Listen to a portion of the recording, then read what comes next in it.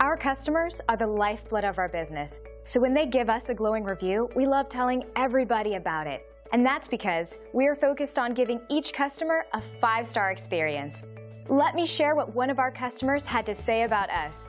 So it should come as no surprise that we love hearing from happy and satisfied customers. And this review is no exception in showing our dedication to superior customer service. This is one of our favorite reviews as well. Very inspiring.